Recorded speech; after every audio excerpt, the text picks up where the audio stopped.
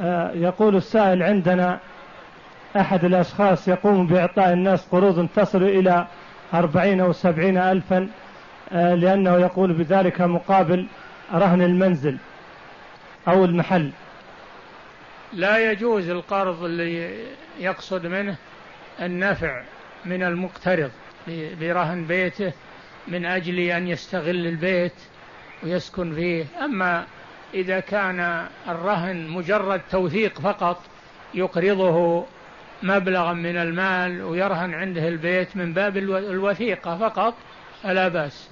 أما إن كان قصده يستثمر البيت فهذا قرض جرى نفعا وهو ربا. نعم.